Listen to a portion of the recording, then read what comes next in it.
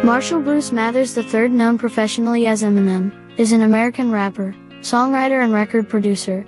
He is credited with popularizing hip-hop in Middle America and is critically acclaimed as one of the greatest rappers of all time. Eminem's global success and acclaimed works are widely regarded as having broken racial barriers for the acceptance of white rappers in popular music. While much of his transgressive work during the late 1990s and early 2000s made him widely controversial, he came to be a representation of popular angst of the American underclass and has been cited as an influence for many artists of various genres. After the release of his debut album Infinite, 1996, and the extended play Slim Shady EP, 1997, Eminem signed with Dr. Dre's Aftermath Entertainment and subsequently achieved mainstream popularity in 1999 with the Slim Shady LP.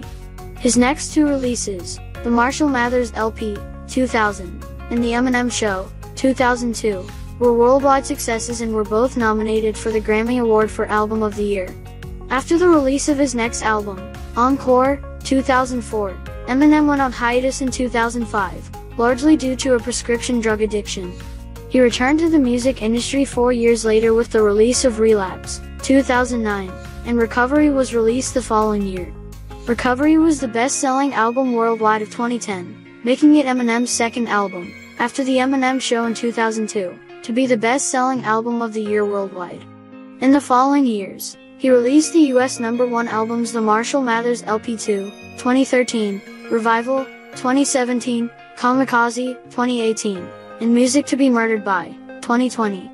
Eminem made his debut in the film industry with the musical drama film 8 Mile, 2002, playing a fictionalized version of himself, and his track Lose Yourself from its soundtrack won the Academy Award for Best Original Song, making him the first hip-hop artist ever to win the award.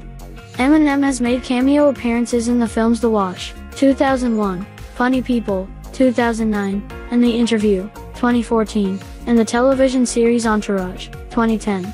He has also developed other ventures, including Shady Records, a joint venture with manager Paul Rosenberg, which helped launch the careers of artists such as 50 Cent, D12 and Obi Trice, among others. He has also established his own channel, Shade 45, on Sirius XM Radio.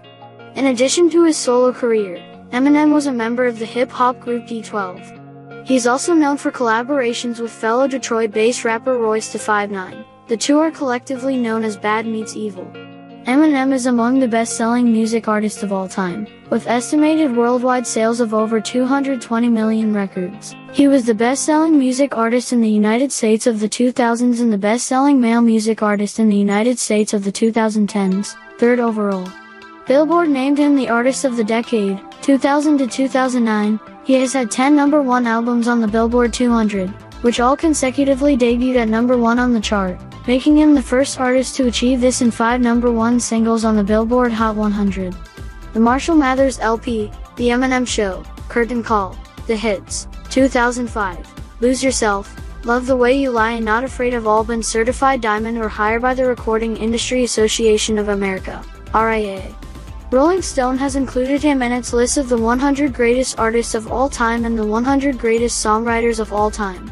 He has won numerous awards, including 15 Grammy Awards, 8 American Music Awards, 17 Billboard Music Awards, an Academy Award and an MTV Europe Music Global Icon Award.